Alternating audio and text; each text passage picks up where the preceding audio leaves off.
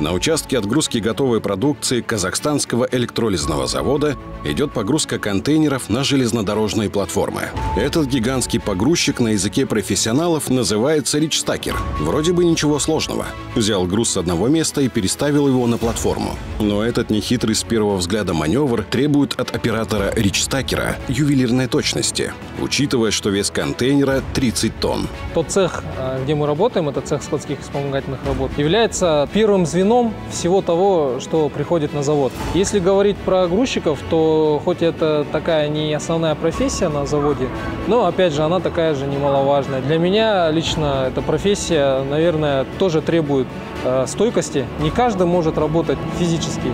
Поэтому нашим ребятам только респект. Даурен Тайкибаев знает, о чем говорит. Сам когда-то начинал на заводе с простого грузчика. Девять лет назад пришел сюда сразу после института. Была возможность пойти в металлургический цех, но Даурен никогда не ищет легких путей. Хотя сегодня с улыбкой вспоминает, как в одну из первых ночных смен ему было не до смеха.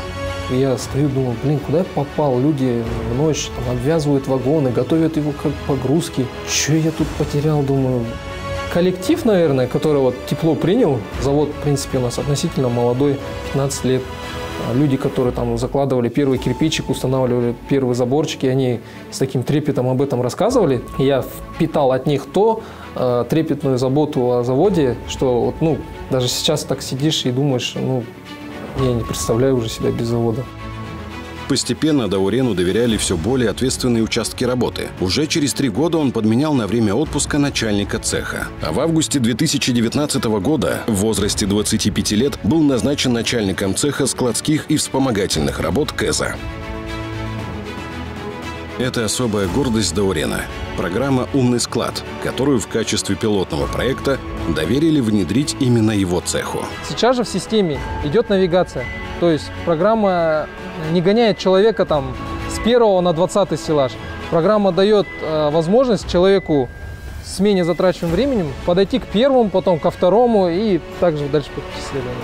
После успешной реализации на казахстанском электролизном заводе умный склад в ближайшее время будет внедрен на всех предприятиях евразийской группы. Будет что рассказать, и как бы не стыдно будет, что оставили такой след, прокачали склад.